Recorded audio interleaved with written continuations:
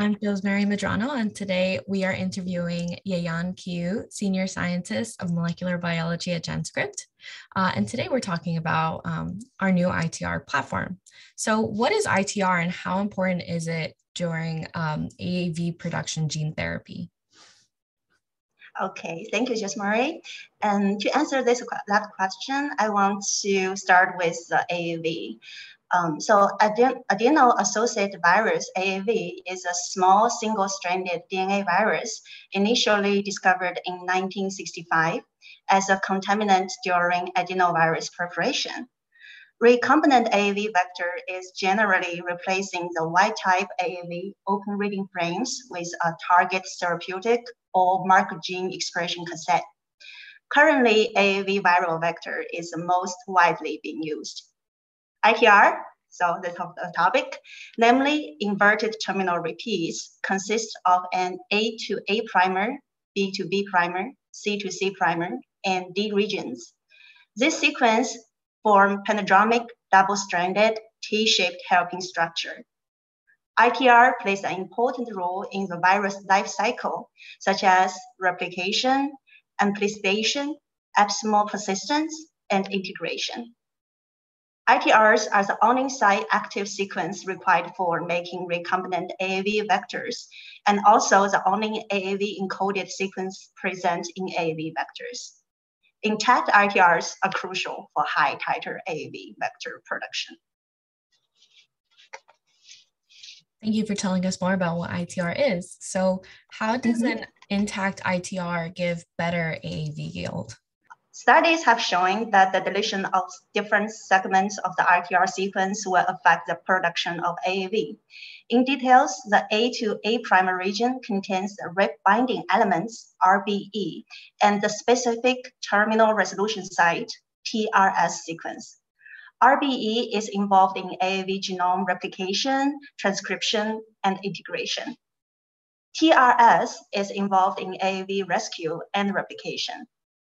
The B2B primer and C2C regions also play a role in the binding of rep protein. Some studies have found D region matters in the AAV DNA packaging. Therefore, the intact RTR is crucial to AAV packaging.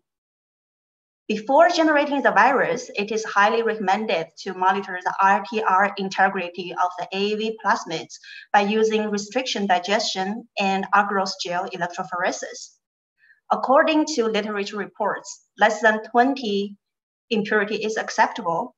However, several papers have confirmed that intact RTR sequence could lead to a higher yield AAV. For example, the deletion of the B to B primer, C to C primer regions, or CPG motif of RTR reduced, a, uh, reduced AAV productivity. When transferred to SF9 cells, complete ITRs are proved to obtain up to 40 more capsids and tenfold reduction of non-AAV encapsulated DNA.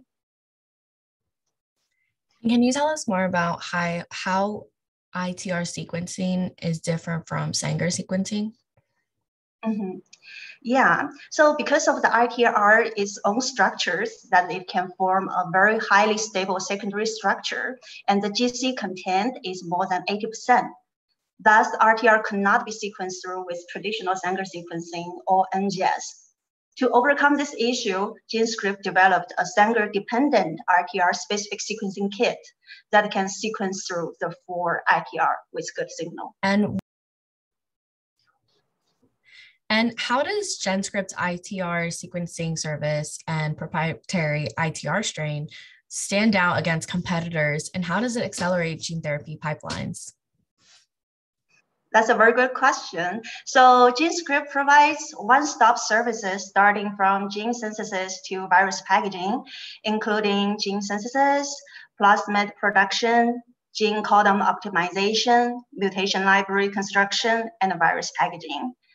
Firstly, internal studies had shown that the success rate of cloning intact RTR plasmid from commercial strains is about 40 to 60%, such as NEB stable or stable 3. Our proprietary ITR strain gene ITR V1 can increase that ratio to 90%. In further, this strain is adapted to the high yield plasmid fermentation process developed by GenScript as well. Second, GeneScript sequencing capability is more powerful and the QC standard is more stringent. Under the same standards, GeneScript ITR sequencing pass ratio is 87.5%, while the competitor is 37.5%. In particular, GeneScript can use nanopore sequence to directly examine the ITR integrity. Third, GeneScript has extensive experience in cloning and plasmid prep of all kinds of cell type ITRs. Meanwhile, we also provide compliance service for gene synthesis, sequencing, and plasmid preparation to meet IND application. On-site audit is supported as well. To sum up, the integrity of the ITR is crucial for downstream viral packaging titer. GenScript's ITR sequencing, priority strains, and fermentation process ensures the ITR stability and high quality of plasmids as a core material, accelerating gene therapy pipelines. What are some of the technical edges of our preclinical plasmid prep service? Um, there would be three aspects. So firstly, Proprietary ITR strain, matched fermentation process, and a medium guarantees ITR integrity and yield, which is up to 300 milligram per liter.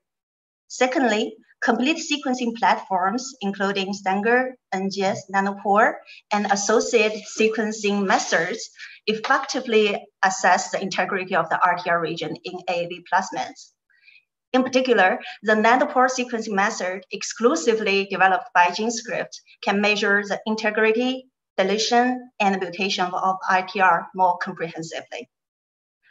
Third, we can provide comprehensive 20 QC items and customized QC services. These methods were established and validated according to the pharmacopoeia, plus guiding principles of analytical methods we also have traceable production process, perfect reporting system, dedicated production team, and supporting decoration, both in Chinese and English. And can you tell us more about um, how stringent and cost effective our preclinical plasmid prep QC is and why it matters for gene therapy development? Uh, actually, small quantities of good, small quantities of high quality GMP available plasmids are available in the market, but with high price and long deliverable time. However, the raw materials for preclinical experiments do not require GMP documents. The key is that high quality samples are required to ensure the stability of subsequent clinical experiments.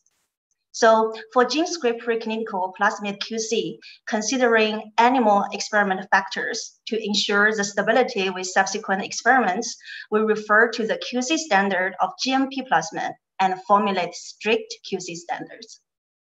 The price of the GenScript preclinical plasmid is favorable, about one third of GMP plasmids, which can greatly save customers' preclinical experiment expenses.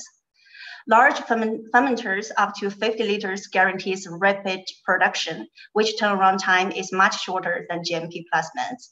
For example, 8.8 gram preclinical plasmid was delivered in 16 days. In conclusion, GenScript preclinical plasmids can not only save customers' preclinical experiment funds, but accelerating gene therapy pipelines.